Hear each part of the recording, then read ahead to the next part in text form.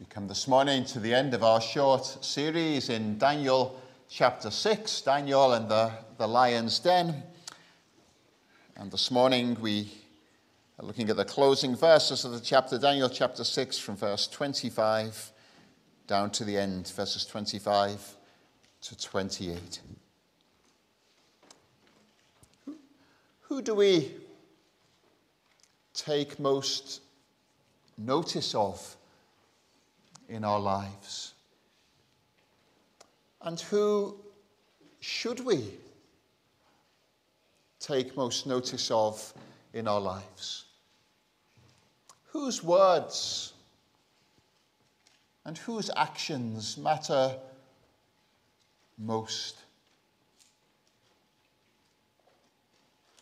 Who do we listen to?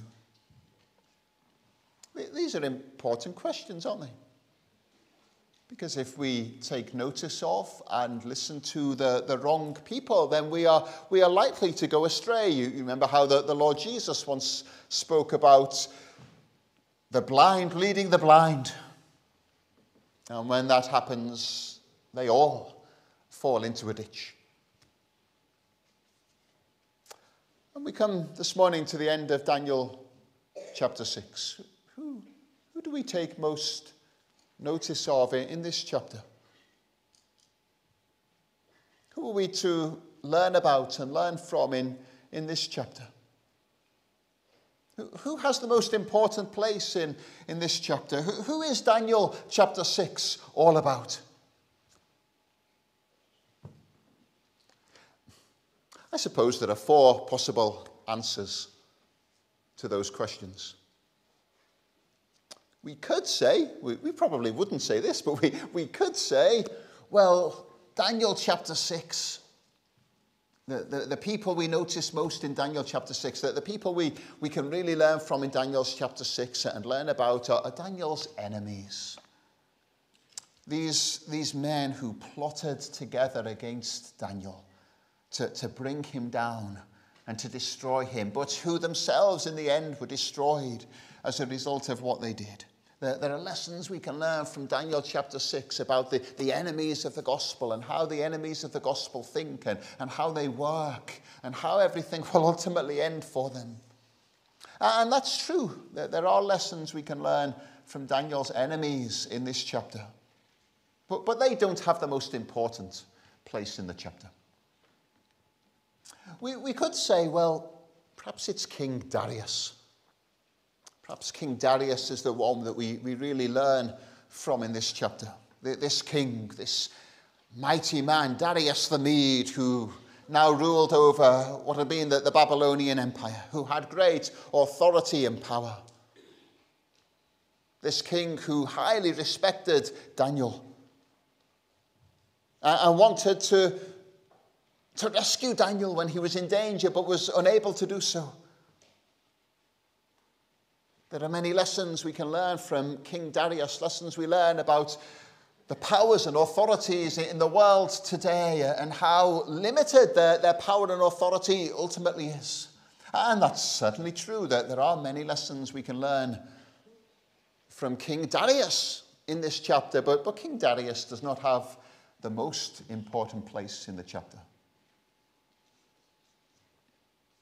We could, of course, say that the, the most important figure in this chapter is, is Daniel. Daniel, the, the man of God. Daniel, the, this man who served God continually. This man who stood firm. This man who obeyed God rather than man. This man who prayed and was faithful to God even to the point of being thrown to the lions. And yes, there are certainly many, many lessons we can learn from Daniel in this chapter, and we've, we've tried to learn some of them over recent weeks. But, but even Daniel is not the most important figure in this chapter. Even Daniel does not have the most important place. Even Daniel is not the one we are to, to notice most in this chapter. Fourth possibility. and the one who this chapter really is all about, and the one whom we are to notice most in this chapter and learn of most in this chapter is Daniel's God. Daniel's God. Daniel chapter 6 is all about Daniel's God. He is the most important figure in the chapter. He is the one that we are to learn from most. Uh, and this chapter ends by, by lifting up Daniel's God before us. He, verse 26, is the living God, and he endures forever. His kingdom will not be destroyed, his dominion will never end. He rescues and he saves. He performs signs and wonders in the heavens on the, and on the earth. He has rescued Daniel from the power of the lions. The great purpose of this chapter is to show us the greatness and the glory of God. Now, these words at the end of the chapter are the words of King Darius in response to what God did in saving Daniel from the lions. And we do not know whether or not King Darius himself really believed these things that he said. We, we, we do not know whether or not King Darius became a, a true believer in the true God. But he did speak these true words about God that are recorded here in the Bible for, for our learning. And they tell us things that we need to know about Daniel's God and about our God. And so, the first thing we, we see in these words at the end of the, the chapter is that Daniel's God is the living God. Verse 26 King Darius says that he is the living God and he endures forever. Daniel, as we've seen over recent weeks, spent 70 years in Babylon, a place of many gods, a place of many idols. But Daniel never forgot that he belonged to the God of Israel, he belonged to the, the living God. Psalm 135 the living God is contrasted with the, the gods of, of this world. Psalm 135, verse 13 Your name, O Lord, endures forever. Your renown, O Lord, through all generations. For the Lord will vindicate his people and have compassion on his servants.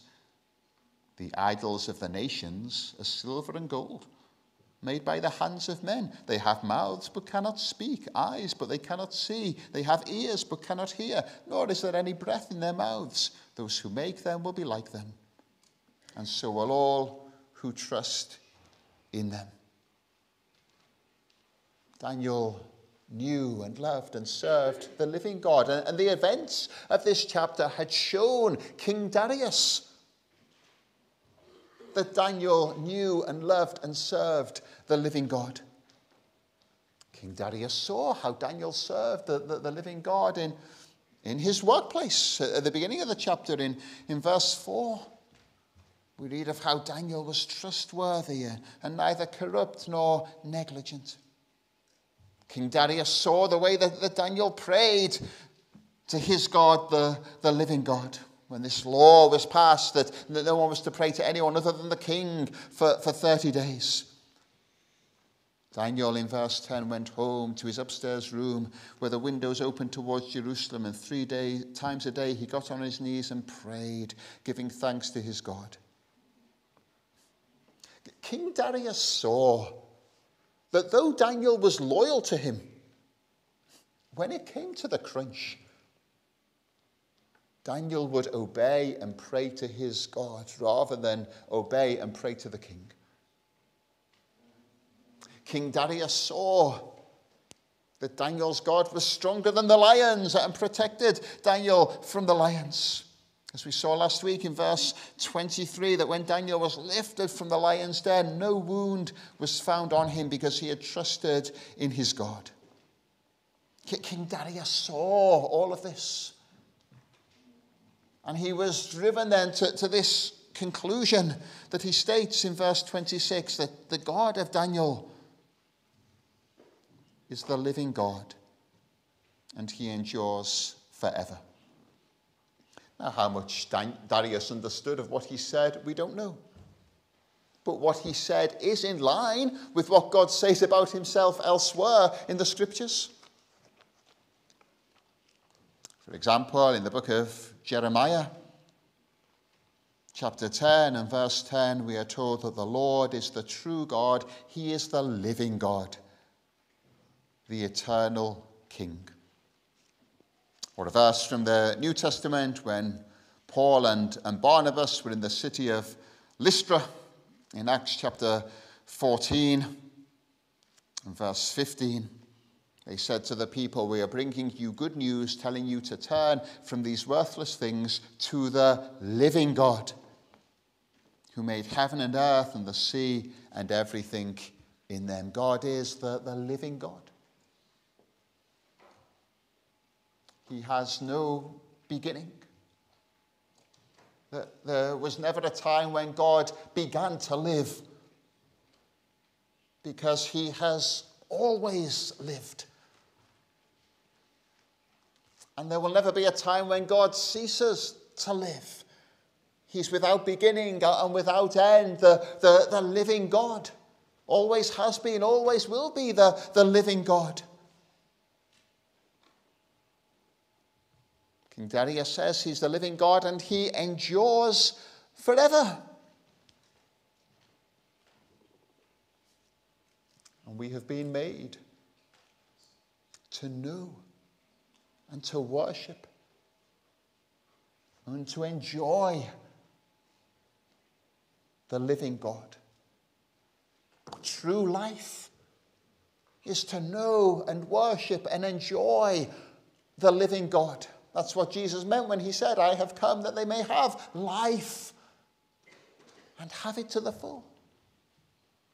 He prayed to his Father and said, This is life, that they may know you, the only true God, and Jesus Christ, whom you have sent, and that the call of the gospel, as we've just seen in Acts chapter 14, that the call of repentance. It's the call for you to turn from your idols, to, to turn from the other gods of your life, whatever they may be, and to turn to the living God.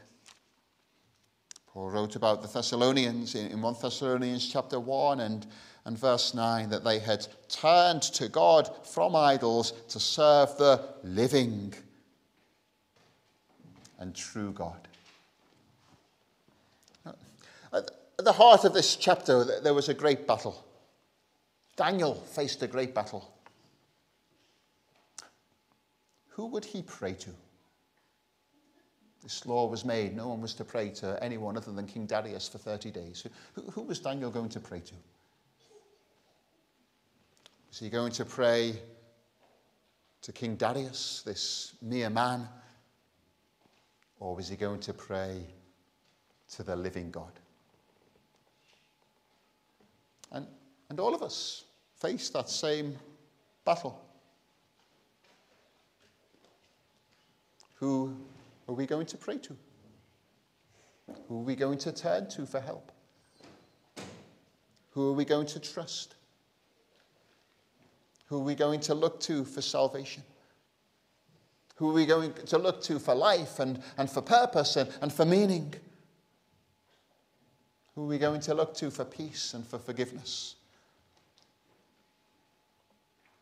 Who, who are you looking to this morning? Who, who, who or what is your, your God this morning? Are you looking for these things to the, the gods of money and health and comfort and entertainment or, or whatever other things they may be? We can make a God of, of just about anything. Or do you look to the living God? In the, in the book of Isaiah, a great call goes out for, from God for, for people to, to look to Him, to, to turn from their idols and, and believe in Him. Isaiah chapter 45 and Verse 20 says, Ignorant are those who carry about idols of wood, who, who pray to gods that cannot save. There is no God apart from me, a righteous God and a Saviour. There is none but me. Turn to me and be saved, all you ends of the earth. For I am God, and there is no other.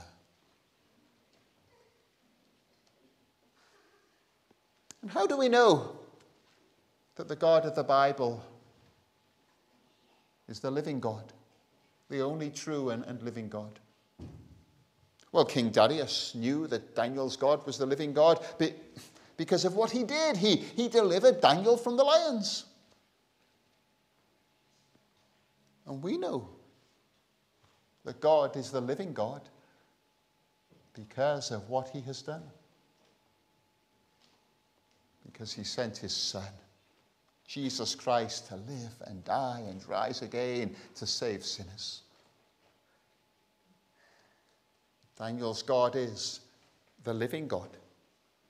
But we also see in these words of King Darius that the Daniel's God is the King of kings. Still in verse 26, the God of Daniel is the living God and he endures forever. His kingdom will not be destroyed. His dominion will never end. Daniel served God for 70 years in Babylon under uh, four different kings Nebuchadnezzar, Belshazzar, Darius, and Cyrus.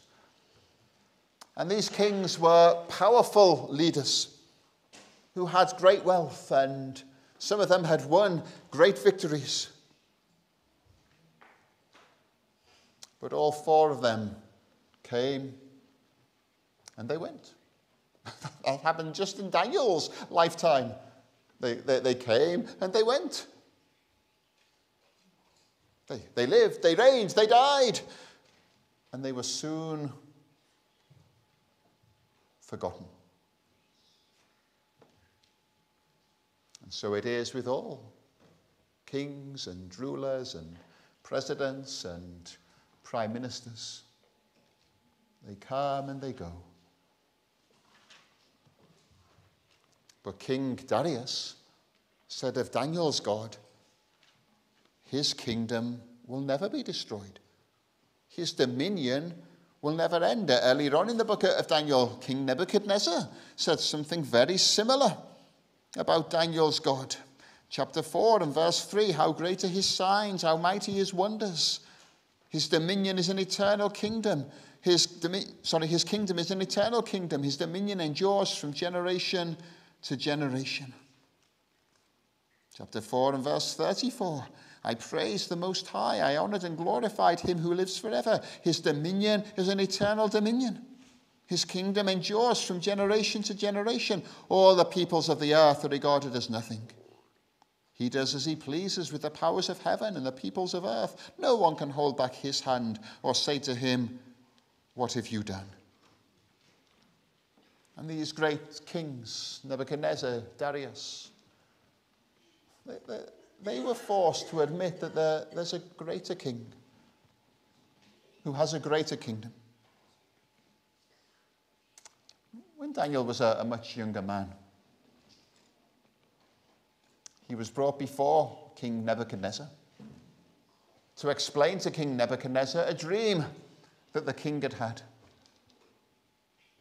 It was a dream of a huge statue in the, the form of the, the body of a man.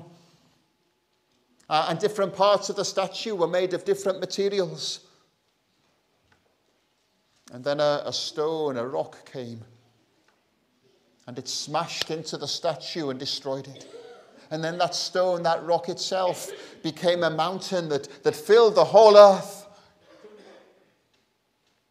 And Daniel explained to Nebuchadnezzar the dream.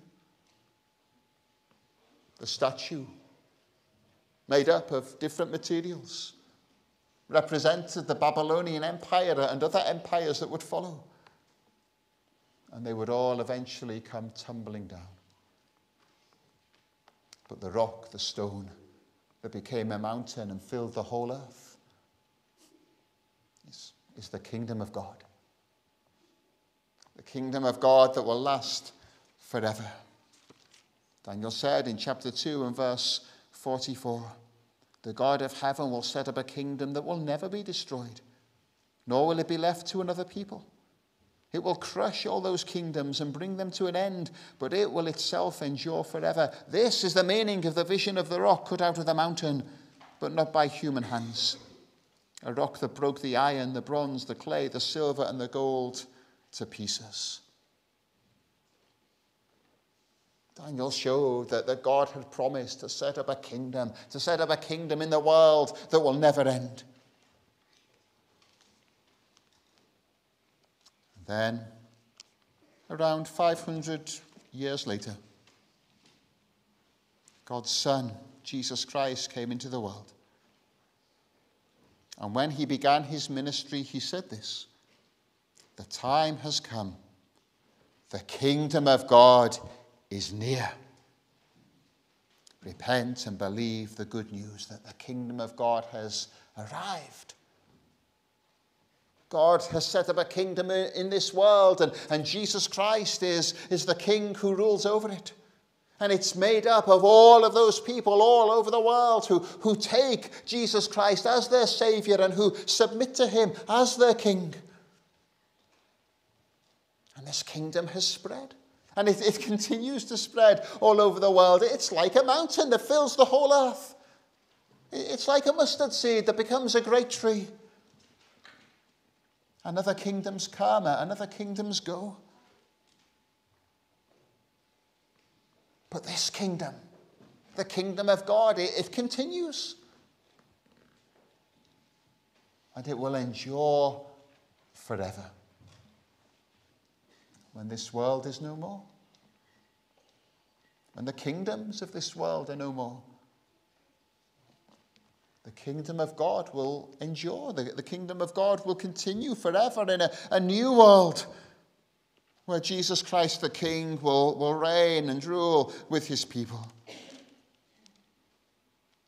And so we read in Hebrews chapter 12 and verse 28 that we are receiving a kingdom that cannot be shaken. So let us be thankful and worship God acceptably with reverence and awe. So Daniel's God is the living God. Daniel's God is the King of Kings. Thirdly, we see here that, that Daniel's God is the God of salvation. Daniel's God rescues and saves. King Darius says of the God of Daniel in verse 27 He rescues and saves, He performs signs and wonders in the heavens and on the earth. He has rescued Daniel from the power of the lions. So, so King Daniel, Darius had seen this with his own eyes. He'd seen a mighty work of salvation that, that God had done. King Darius saw Daniel go into the lion's den. And the next morning, King Darius saw Daniel come out of the lion's den untouched, unharmed. King Darius heard Daniel say in verse 22 My God sent his angel, and he shut the mouths of the lions. What an amazing rescue that was. What an amazing salvation it was. What kind of God is this? What, what kind of God is the, the God of Daniel? Well, Darius says he is one who rescues and saves and performs wonders in the heavens and on the earth. And just think of it King Darius said this on the basis of seeing God rescue one man one night. Daniel could have told King Darius, and maybe he did, of a night when God rescued all of the Israelites, thousands upon thousands of them, from slavery and misery in Egypt. And Daniel could have told King Darius, and maybe he did, that God had made a promise to send a Savior to the world who would rescue people from all nations of the world, who would rescue a great multitude of people from all nations that no one can count. Savior who would rescue people from their sin and the punishment of their sin, the, the just and holy wrath of God that, that sin deserves. God has kept that promise, the, the promise that Daniel believed, the promise that Daniel looked forward to. And he has sent his son, Jesus Christ, into the world as a man to, to, to live and to die on the cross and to rise again. And all who truly believed in him, believe in him, are saved. God so loved the world. He gave his only begotten Son that whosoever believes in him should not perish but have everlasting life. And if on the basis of seeing God save one man one night, King Darius said, He rescues and saves, He performs signs and wonders in the heavens on the earth. How much more should we honor and glorify this God when He saved not just one man one night? but he saved a vast multitude of people that cannot be counted in all places at all times. So Daniel's God is the, the living God, and Daniel's God is, is the, the, the King of Kings, and Daniel's God rescues and saves. Let's think about something else. Let's think then about Daniel's God and us. Daniel's God and us. How, how do we respond to the God of Daniel? How do we respond to the God we read of here in, in chapter 6 and who is described to us in these, these closing verses? Well, King Darius made a decree, a law, another one. And he made a decree the people in his kingdom must fear and reverence the God of Daniel. Verse 25. The first part of verse 26, King Darius wrote to all the peoples, nations, and men of every language throughout the land, May you prosper greatly. I issue a decree that in every part of my kingdom, people must fear and reverence the God of Daniel. Well, perhaps King Darius meant well, but there's a, a basic flaw to his plan, isn't there? There's a, a, a very obvious problem with, with this. The problem is simply that governments cannot do this. Laws simply cannot make people truly worship God. No. If you've ever had a damp problem in your house, you know, the, those black spots that appear on the wall and you get out the paint and you paint over it. But that doesn't solve the problem, does it? Just painting over the spots doesn't solve the problem. They, they just come back a, a few weeks later. And uh, King Darius trying to make a law to, to make people worship and, and, and, and fear and honor the God of Daniel. It's like just painting over the spots. The, the, the, the idols of their hearts would, would, would soon come back. A government cannot make people honor and worship God from the heart simply by passing a law.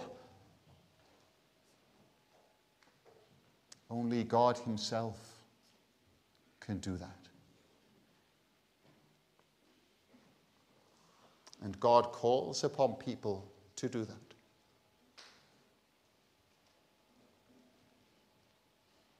God does call upon us to do what Darius called upon his people to do in verse 26.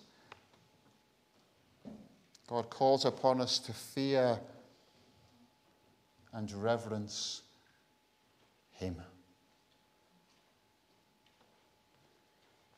Books of Psalms and Proverbs tell us that the fear of God is the beginning of wisdom. We, we sang earlier Psalm 111. Psalm 111, verse 10 The fear of the Lord is the beginning of wisdom. All who follow his precepts have good understanding. Book of Proverbs, chapter 9 and verse 10. The fear of the Lord is the beginning of wisdom, and knowledge of the Holy One is understanding. Uh, and in the books of Psalms and Proverbs, that the wise are, are the saved. The wise are the, the people of God. The, the, the wise are believers, Christians. The fear of God is the beginning of wisdom. There is no salvation without the fear of God. Nobody is saved without the fear of God. But what actually is the fear of God? What does it mean? I was helped a few years ago reading a book by American preacher Al Martin on, on this subject, the subject of the fear of God. And he argues from the scriptures that there are basically three parts to the fear of God. First of all, to understand the character of God. To fear God is to see who God is, to see that God is holy, that He is pure, that we are sinful and can only be made right with God through the work of Jesus Christ on the cross. That's the first part of what it means to fear God, to see who God is, to see what God is like, that He is holy. And then the second part of the fear of God is to have a sense of the presence of God. To fear God is to remember that He is the living God and, and He is there. He's always there, present at all times, present in our most secret moments, observing our most secret thoughts. He's present and sees all we, we do and say and think. And then the third strand to the fear of God is to be aware of our obligations to God, to be aware of what God requires of us. To, to fear God is to realize that we are to love Him above all of us, that we are to obey Him in all things, that we are to trust Him at all times.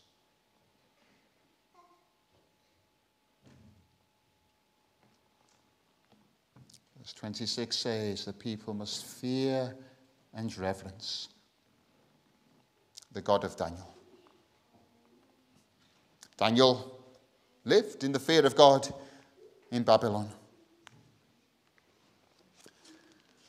When the Lord Jesus Christ came into the world, when the Son of God came into the world as a man, he lived in the fear of God great promise was made about his coming in Isaiah chapter 11. It says in verse 2 The Spirit of the Lord will rest on him, the Spirit of wisdom and of understanding, the Spirit of counsel and of power, the Spirit of knowledge and of the fear of the Lord. And he will delight in the fear of the Lord. May we then, with God's help, live in the fear of the Lord in this place and at this time.